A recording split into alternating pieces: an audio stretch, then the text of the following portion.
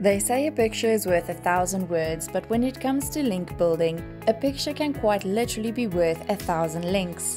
Hi, I'm Cally from the International Institute of Digital Marketing. Here's a beginner guide to link building with images.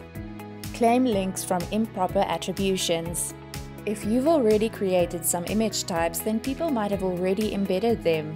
These links most likely point to the actual image file itself, not the post where it comes from. This isn't ideal because image links are a dead end for PageRank and probably aren't helping your page rank in Google.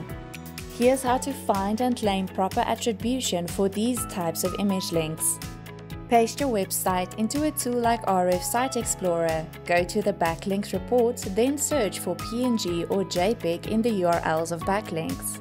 Next, filter the report to show only do follow links from unique domains. Now it's just a case of sifting through the report and noting any links that we want to claim in a spreadsheet. Claim links from unauthorized use.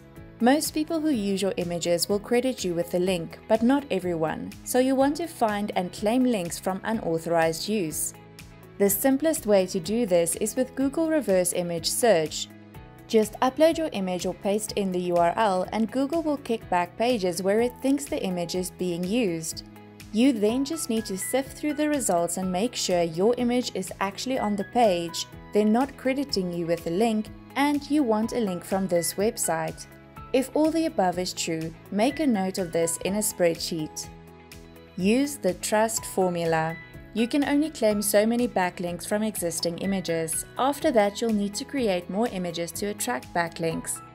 There are several ways you can do that, but one tried and tested formula is the trust formula.